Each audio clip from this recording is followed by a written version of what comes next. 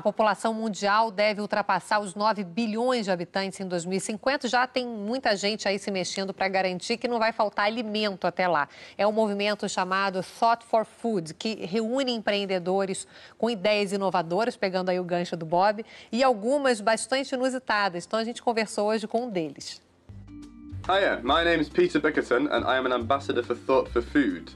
Thought for Food is at its heart an international movement and competition for students and young entrepreneurs to come up with an idea which will uproot the status quo and help us feed 9 or 10 billion people by 2050. And actually, the competition has yielded some businesses. So we've got Agrilution in Munich, who have um, an indoor vertical farming business.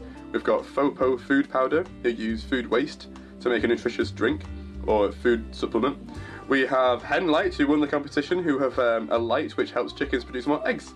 So some really good ideas have come as a result of it, and I took part in the first competition, and my idea, or our idea, was entomophagy, which is insect eating.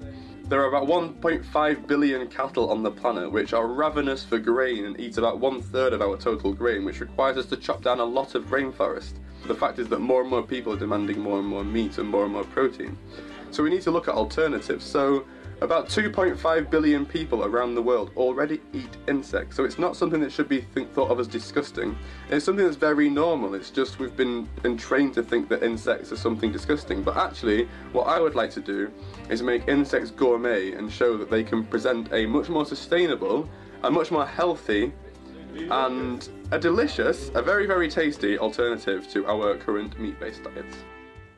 E aí, você encararia? O Peter Bickerton, que você conheceu agora, vai falar mais sobre esse projeto no Festival Piquenique sobre Inovação e Sustentabilidade. É uma parceria com a Globo News. O evento vai acontecer nos dias 3, 4 e 5 de novembro, no Parque Laje, no Rio de Janeiro. Se você quiser encontrar o Bob, vai estar lá também. Pessoalmente, pode vai lá Bob e seu caderninho. Vou levar o caderninho, eu mostro.